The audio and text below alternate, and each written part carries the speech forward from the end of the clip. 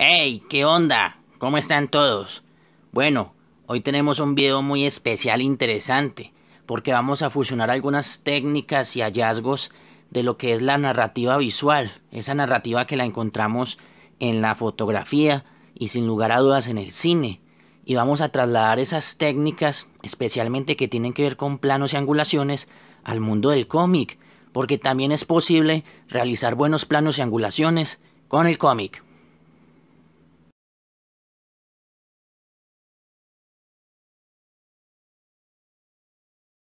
Y para la realización de este trabajo vamos a echarle mano a un cómic legendario, los Teen Titans, o sea, la Justice League, pero de adolescentes.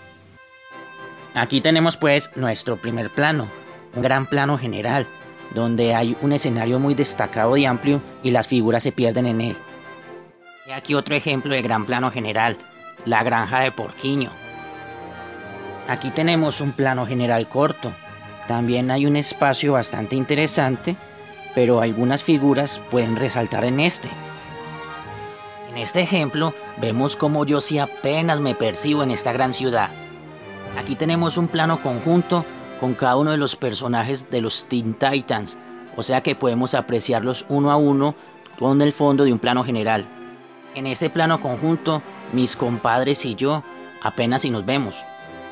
He aquí un plano figura, donde Deathstroke sale de pies a cabeza casi en toda una viñeta. Eso es lo que realiza un plano figura, una figura entera. No míreme a mí, de pies a cabeza, todo un superhéroe, me pueden ver en todo detalle.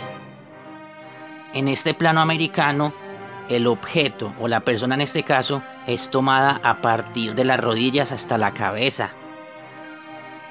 El cineasta Sergio Leone fue uno de los más reconocidos en usar planos americanos.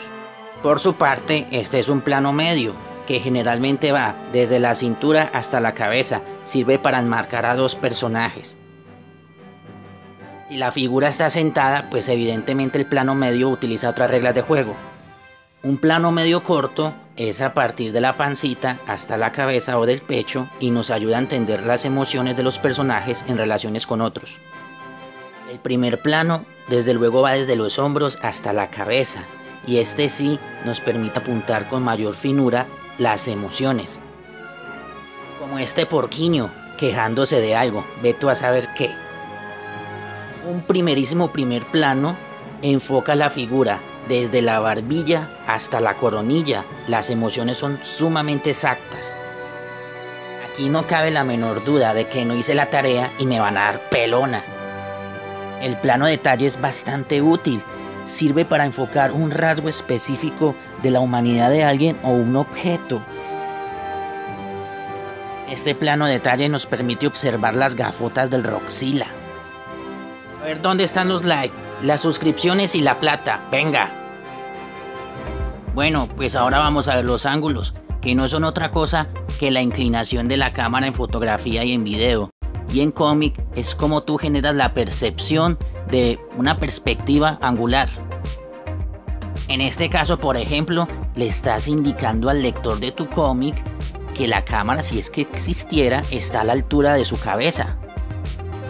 En esta viñeta el dibujante ha tenido toda la capacidad de hacer un ángulo picado donde nos genera la posibilidad de ver a Cyborg como si estuviéramos por encima de él. pareciera que la cámara estuviera un poquito por encima de mi cabeza, ¿lo notan? Fíjate en los personajes que observan la caída de este otro.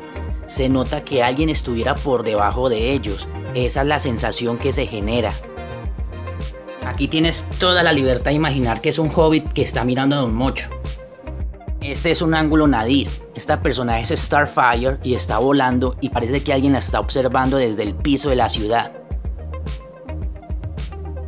Aquí tenemos a la misma personaje Starfire. Ahora está sobrevolando la ciudad y quien dibujó genera la percepción que miramos desde arriba, es un ángulo cenital.